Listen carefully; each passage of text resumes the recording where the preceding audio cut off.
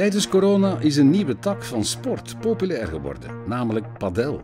Je speelt er buiten met z'n tweeën en op voldoende afstand van elkaar. Ook andere sporten zijn populair gebleven, zoals tennis, hockey en voetbal. Maar hoe worden al die sportvelden en terreinen eigenlijk gerealiseerd? Daarvoor gaan we naar Gontwaze. We spreken daar met MAB-aannemingen die daar de sportvelden heeft aangelegd. Rondom het aanleggen van sportvelden tegenwoordig is dat wat vooral belangrijk is, is uh, terug een, uh, een, een richting uh, die te maken heeft met kwaliteit en duurzaamheid en herbruik van materialen. Dus veel breder kijken dan louter alleen de sportvelden zelf, maar ook in functie van het milieu en, en technisch volwaardige oplossingen.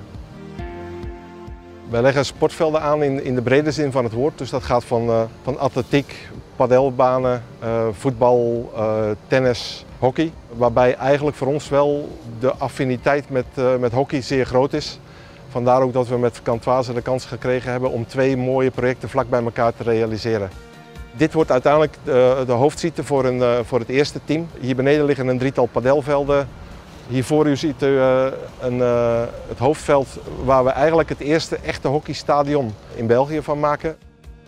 Wat belangrijk is bij de aanleg van, sportterreinen in het algemeen is uh, een goede planning en een goede studie naar stabiliteit van de ondergrond. Je hebt te maken daar met, met velden die een grote nauwkeurigheid vragen qua aanleg, waardoor dat je ook dieper moet kijken. En dat is een stuk aandacht wat soms wat onderschat wordt.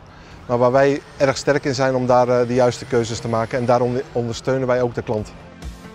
Onze achtergrond is ook uh, bodemsaneringen en dergelijke, al uh, meer dan 20 jaar. Waardoor dat wij veel affiniteit hebben met uh, eventuele vervuilingen, instabiliteit van gronden, herbruik maken van gronden. Dus onze technische kennis is, is veel veel breder dan, dan louter het plaatsen van een sportveld.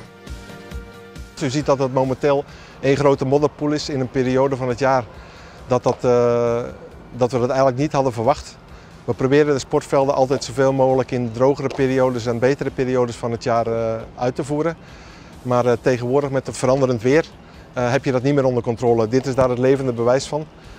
het komt erop neer om dan oplossingen te vinden die, die maken dat je toch kan gaan met de dingen die wel kwalitatief uitgevoerd kunnen worden. Finaal is het wel zo dat als tijdens de aanleg van uiteindelijk de fundatie en de, en, en de eindafwerking dan hebben we wel droog weer nodig. En dus het weer speelt absoluut parten, vooral regen.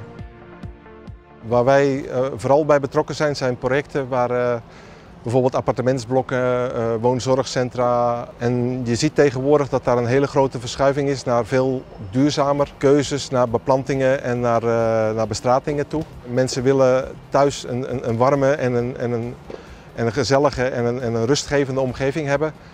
En daarbij is de keuze van bestratingsmaterialen, van planten en noem het er maar op, een erg belangrijke keuze. Die draagt daartoe bij. Wij adviseren de klanten daar ook in. En zeker nu ook met het, uh, het klimaat wat wijzigt, is vooral naar onderhoud en naar duurzaamheid van beplantingen, dwingt het ons om, om andere keuzes te beginnen maken. De vraag naar uh, kwalitatief uh, uitgevoerde omgevingswerken, vooral ook merken wij ten gevolge van, van, van COVID, lijkt het wel alsof heel veel focus naar de directe omgeving van een mens is gegaan. En dat men veel minder bezig is met, uh, met, met, andere zaken. Dus uh, wij, uh, wij moeten momenteel werk weigeren om een fatsoenlijke uitvoering en een, en een tijdige uitvoering te kunnen garanderen. We kunnen niet zomaar werken blijven aanpakken, zoveel vraag is ernaar. En een van de grote bottlenecks is momenteel, maar dat was al jaren het geval, het vinden van gekwalificeerd personeel.